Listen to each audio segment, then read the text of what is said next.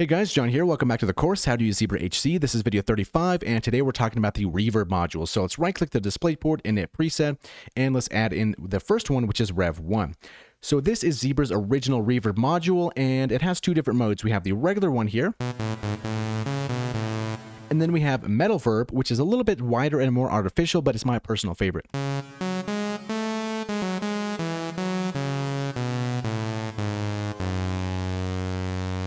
So this reverb has its regular reverb controls and it also has a diffuser as well. So first things first, the pre-delay. So this is basically the time it takes from when a note is played until the reverb is heard. So you can always have something really long.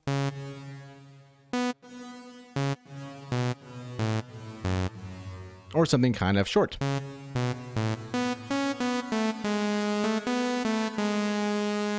Now for these different range knobs here, these are for the main one and for the diffuser as well is basically the reverb and diffusion decay time length.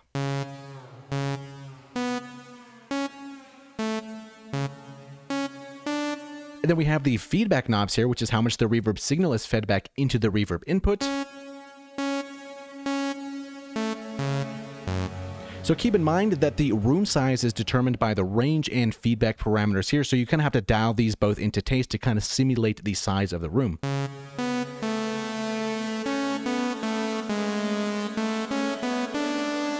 And something interesting in the manual, if you want to have this infinite type of reverb here, put the range, the feedback, put these all the way at maximum and have the dampening at zero. You hit a note, it'll just kind of go on forever.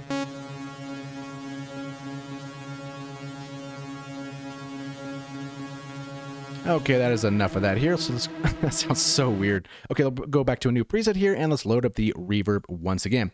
So we have this damping, right? So take a listen to how this sounds right now. Let's give it some more wet.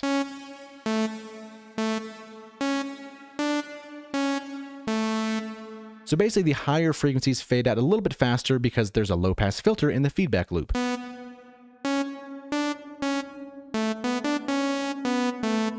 Kind of makes it a little bit warmer sounding.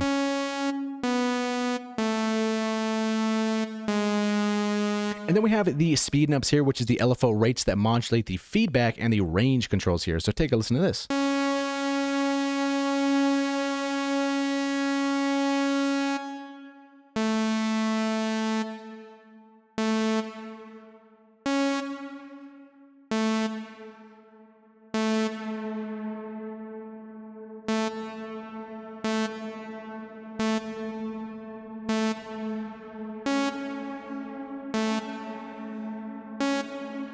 And then over here, we have the mod controls over here. So this is the LFO levels that modulate the range and the feedback knobs.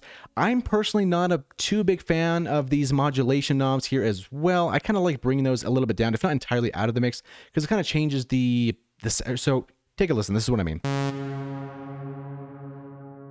We're kind of hearing the pitch change of these reverb. Which can be cool for a lot of stuff, but I kind of tend to remove these entirely.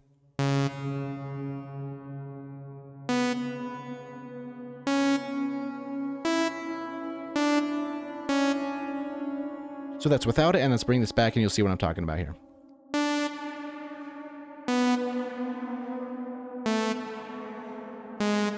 It almost gives a little bit of a pitch wobble kind of, right? And I suppose if we remove these,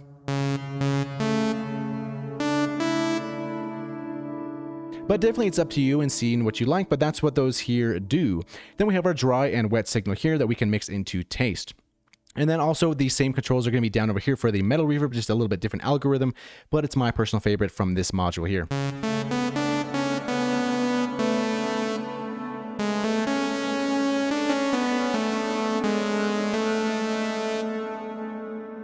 All right, so the next reverb module here, let's disable this right here, and then let's go to new verb here, or NuRev. So they call this one from the manual a smooth plate reverb with pre-delay. So we do have pre-delay here like we talked about before, right? So the delay when a note is struck until we hear the reverb. And this one's a little bit simpler, right? A little bit less controls to worry about. We have the size. Let's bring this pre-delay down, maybe somewhere around 20, that's fine. And increase the size here.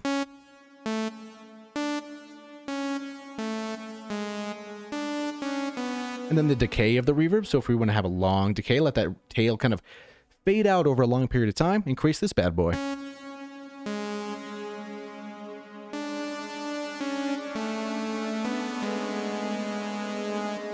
And then the dampening, same thing as before, lets the high frequencies dial out or fade out a little bit quicker than the low ones due to a filter.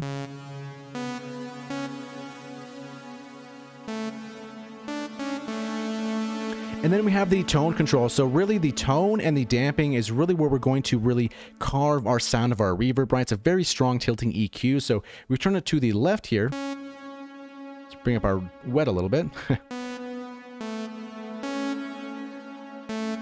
and then bring us to the right. You're going to hear it's a little bit more metallic on the top end as well. So if you're kind of going for maybe a darker, kind of warmer reverb, maybe bring this tone knob a little bit to the left here and kind of dial in the dampening to taste. Because if these are open all the way, if the dampening wasn't even on and this was at default, we're going to have that very metallic kind of reverb at the top end. So that's why we'd want to maybe increase our damping here and drop this a little bit to our left.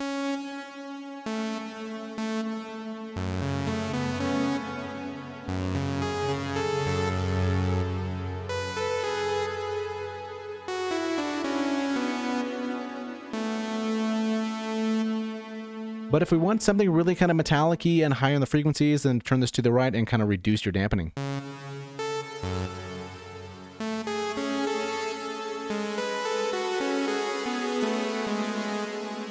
Yeah, so it's really up to you how you want to colorize those two as well. Dampening and tone work very well together. And then down over here we have the width, which is the stereo spread of the reverb.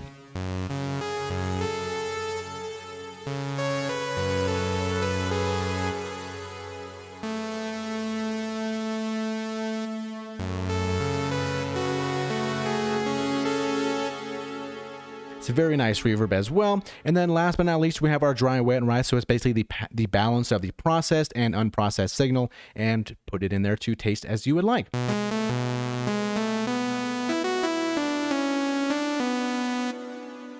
But yeah, those are the reverb modules. Very cool sounding. I kind of really like the metal reverb in the uh, Rev 1 over here. That's kind of my favorite for this module.